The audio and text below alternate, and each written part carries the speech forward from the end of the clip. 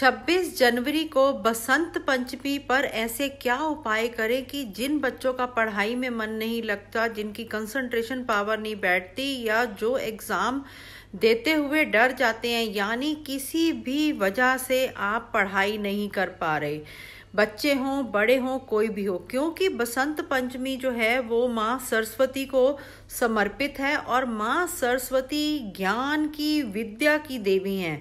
तो सबसे पहले तो आपने अपने स्टडी टेबल के ऊपर माँ सरस्वती की कोई भी छोटी सी मूर्ति रखनी है और उनके पास एक पेन रख दीजिए। वो पेन आप जब भी एग्ज़ाम में जाएँगे या आप जब भी स्कूल जाते हैं तो आपने वो पेन का ही यूज़ करना है। दूसरा, आपने क्या करना है, आपने नीले और काले बैग्स का इस्तेमाल नहीं करना।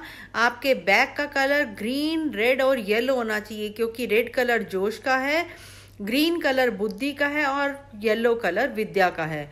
अब आपको उपाय क्या करना है, आपको एक बड़ का पत्ता लेना है, उस पर पाँच मिठाई के पीस रखने और दो हरी इलायची रखनी है। आपने ये सामान लेकर आपने पीपल के पेड़ के पास जाना है और अपनी विश करते हुए आपने ये सामान वहाँ रखते हुए कहना कि जो भी आप एग्ज़ाम देने जा रहे हैं, उसमें आपको सफलता मिले। मात्र अगर आप ये उपाय करेंगे तो आप देखेंगे कि पढ़ाई में जो मन नहीं लग रहा था, वो लगना शुरू हो जाएगा। दूसरा, बसंत पंचमी, इस बार गुरुवार वाले दिन जो कि बहुत अच्छा और बढ़िया संजोग बन रहा है कि आप जो भी ये उपाय हैं उस दिन करेंगे तो आप देखेंगे आपके जीवन में आपको जैसे कहते हैं ना, माँ सरस्वती सद्बुद्धि प्रदान करेंगी, आपको सही रास्ता देंगी।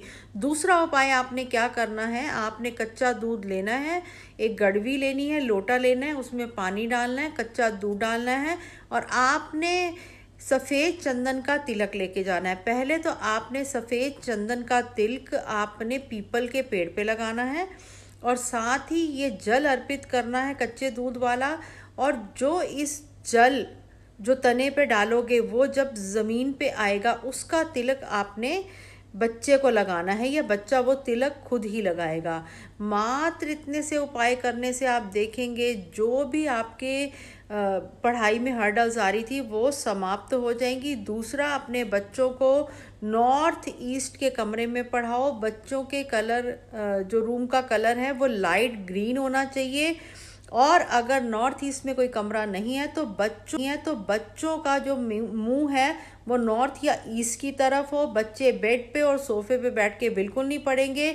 ज़मीन पे या स्टडी टेबल पे पढ़ाएँ। मात्र इतने से उपाय कीजिए, आपकी कंसंट्रेशन जो भी पढ़ाई में दिक्कत आ रही है, वो समाप्त हो जाएगी। दूसरा जो बच्चे पढ़ते पढ़ते स्ट्रेस में हो जाते हैं, उनको लगता है कि वो नहीं पढ़ पाएँगे तो उनको सोमवार के सोमवार शिवलिंग के ऊपर काले तिल चढ़ा के आने हैं। कैसे चढ़ा के आने हैं? सबसे पहले तो आपको लोटे से जल देना है शिवलिंग को और काले तिल शिवलिंग के ऊपर रख के आ जाने हैं। लड़कियाँ या लेडीज़ शिवलिंग को हाथ नहीं लगाती, वो वर्जित होता है, इस चीज़ का आपको ध्यान रखना है। साथ में आपको छोटे छोटे से जो मंत्र हैं, जैसे गायत्री मंत्र है, उसका जाप करें। इस दिन मात्र इतनी सी चीज़ें करेंगे, आप देखेंगे जो भी आपकी पढ़ाई में हर्डल्स आ रही हैं, जो भी आप एग्ज़ाम नहीं क्रैक कर पा रहे, वो कर पाएँगे। जय श्री राधे, जय गुरु जी